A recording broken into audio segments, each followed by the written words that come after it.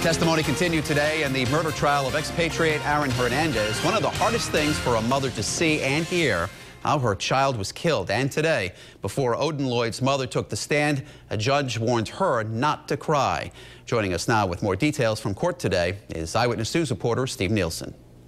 Well, Mike, actually three different people took the stand, each with a different perspective on Lloyd's life. His girlfriend, his mother, and the first officer who arrived after Odin was killed. Another day of testimony in Odin Lloyd's murder trial, starting with Odin's girlfriend, Shaneah Jenkins, the sister of Aaron Hernandez's fiance. Then Odin's mother. She was asked to contain her emotions during questioning.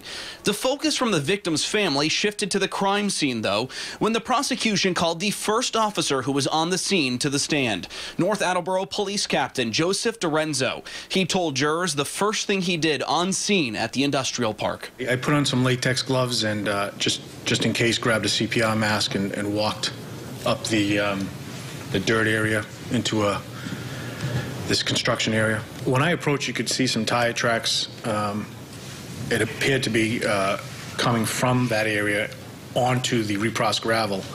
Um, so I went to the left to, to avoid the tire tracks for obvious reasons. Dorenzo said he approached Lloyd's body. Uh, I knelt down and uh, immediately touched his neck uh, to feel for a pulse. Okay. And were you able to find a pulse? No, his, he was cold and his skin was hard, and there was no pulse. When you say you saw some other wounds, uh, just describe what you saw. Uh, what appeared to me as uh, bullet wounds to his chest uh, and a bullet wound to his right flank, uh, which was right near my knee.